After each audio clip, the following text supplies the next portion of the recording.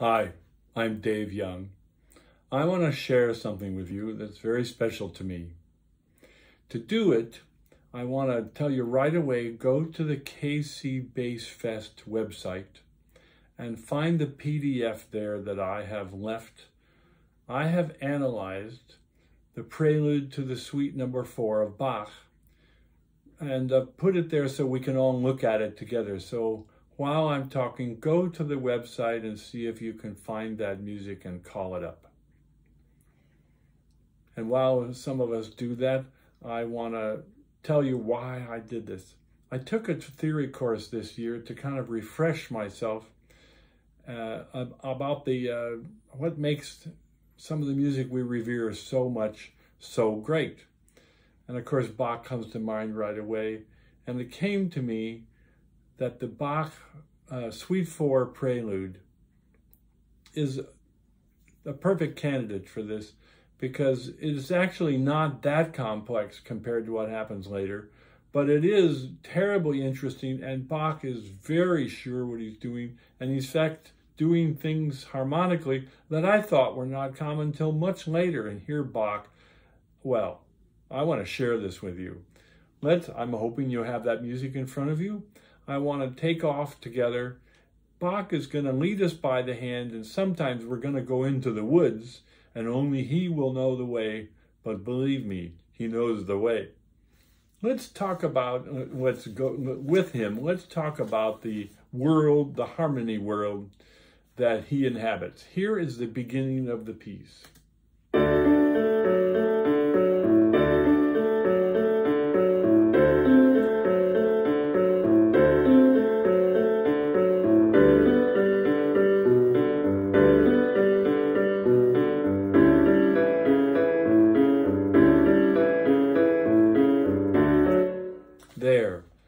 Look at the Roman numerals underneath, you see I made a kind of piano part. I actually organized the notes so that they're in a consistent chordal manner so you can see.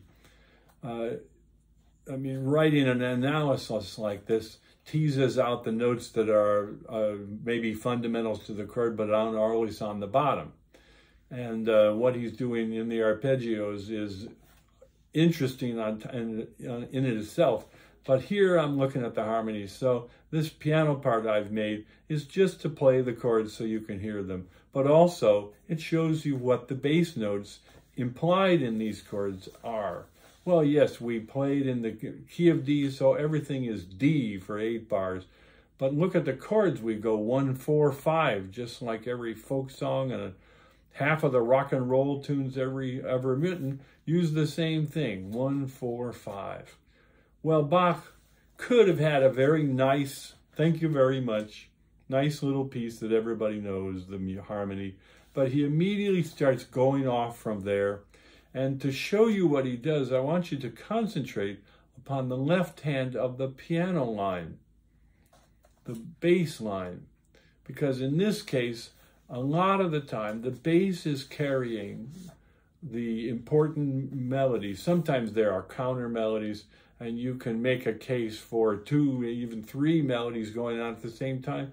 But for this purpose, I want to concentrate on what the left hand, what the implied bass is doing. So right away, here we are, we were in bar nine, we return to the D chord, watch what the bass does.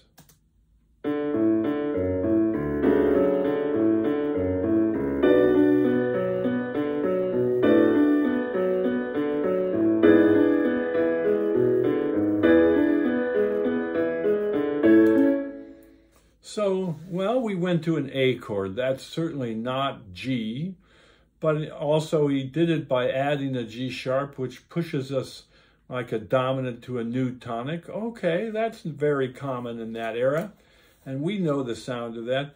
Well, he's hardly done. Watch the bass line. It uses the same kind of sequence, and the bass line descends to a new place.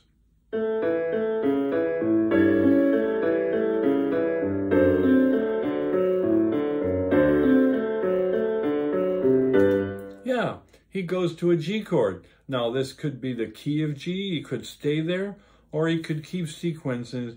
Well, Watch, of course he goes, he keeps the bass line descending again.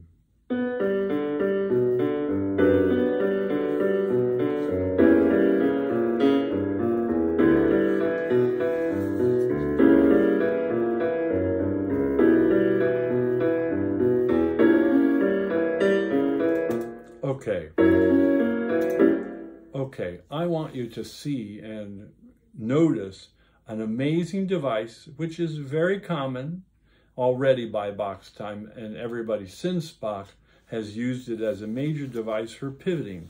It's called a diminished seventh. Diminished seventh, look at bar 21. A diminished seventh consists of four notes, each of them a minor third apart, and it requires altering some note or more of the scale. In this case, he added A sharp in bar 21 and A sharp again in 23 and 25. Each of those are diminished seventh chords. And because of that A sharp, we go, we're pushed in 27 to B minor. We could be in the key of B minor. Let's see what he does.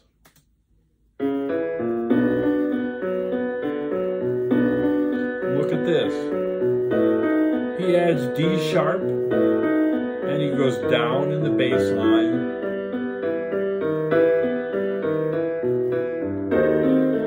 I want to stop. This diminished seventh chord is actually pushing us to E minor, but now Bach, I think, is doing something fun. I think, no, this is not an A2, this is not dry. I think he's teasing us. Each time he goes to a new what could be a key point, a new key, and he doesn't stay there. He immediately leaves it. Well, here's a diminished seventh again.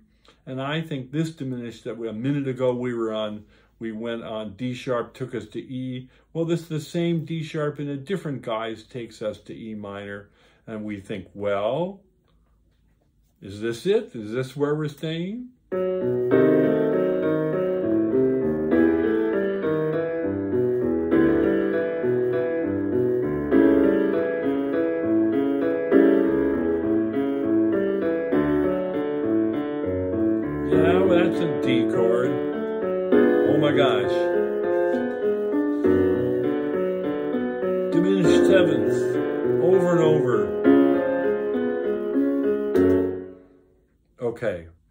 This time we went to F sharp minor.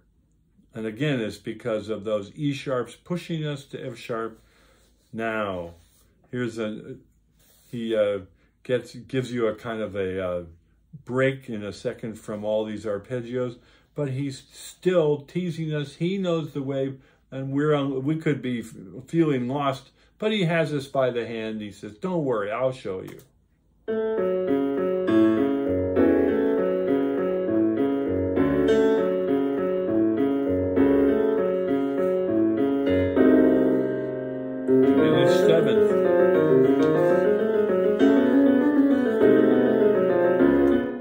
Okay, this is an, another device and a moment in Bach, which is very common. You remember he was an organist, and there are these uh, long things called organ preludes.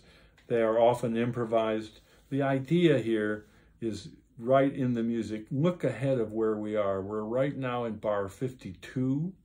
And look, C sharp, C sharp, C sharp, all the way to 61. All of these bars, with one exception temporarily all are based with a C sharp foundation. This is called a pedal tone. And all the improvisatory sound above it and those scales coming up, all is to set up a pedal, which is a tension moment, and finally it gives way and arrives at 62 to F sharp minor.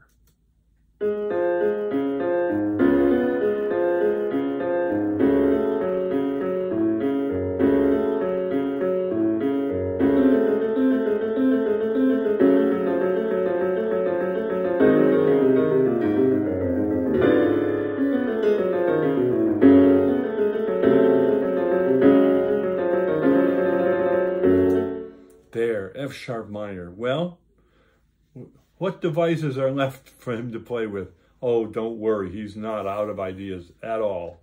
Now, we've seen so many descending bass lines. It feels, I think, just right. We've had enough. And Bach says, oh, don't you worry. We're going to now go up. In a second, you're going to see the bass line start rising. And in music, rising pitch always means adding tension.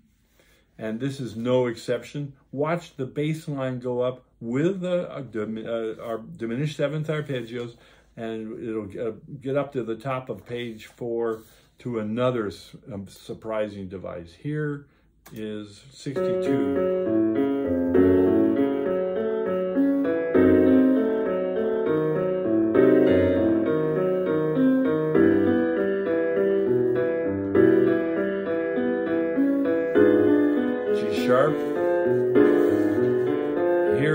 71.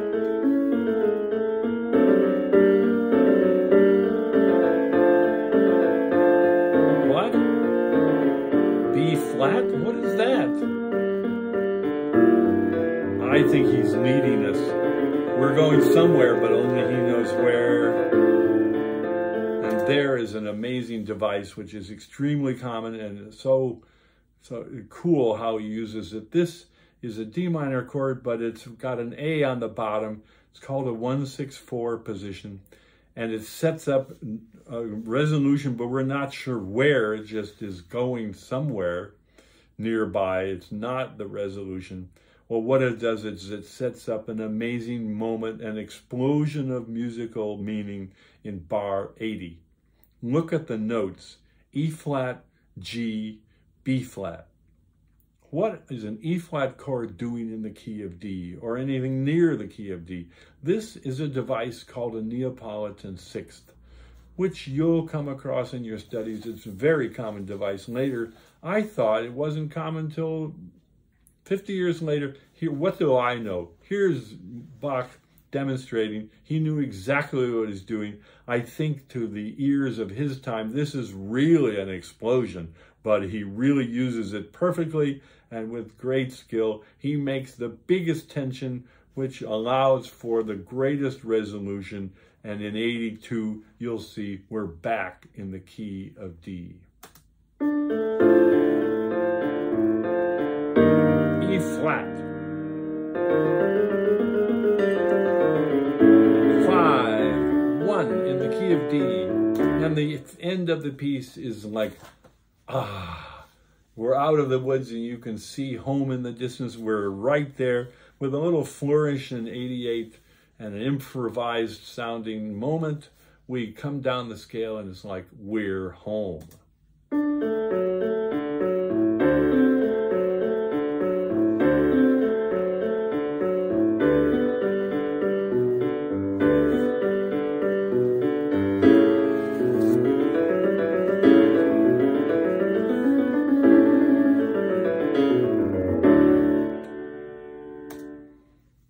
Bravo.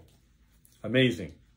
So, I hope you like this piece as much as I do. I'd like to play the whole thing for you now.